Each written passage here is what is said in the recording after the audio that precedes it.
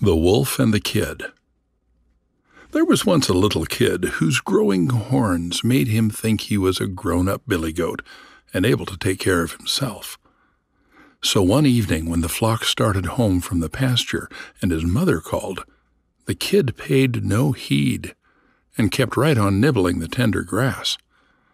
A little later, when he lifted his head, the flock was gone. He was all alone. The sun was sinking Long shadows came creeping over the ground. A chilly little wind came creeping with them, making scary noises in the grass. The kid shivered as he thought of the terrible wolf.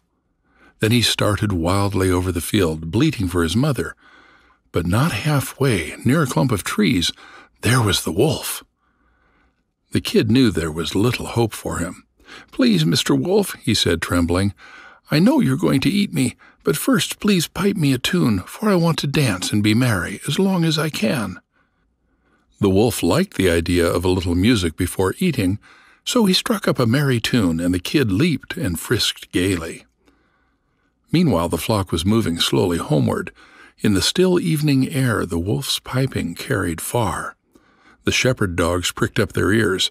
They recognized the song the wolf sings before a feast, and in a moment they were racing back to the pasture. The wolf's song ended suddenly, and as he ran with the dogs at his heels, he called himself a fool for turning piper to please a kid when he should have stuck to his butcher's trade. Do not let anything turn you from your purpose.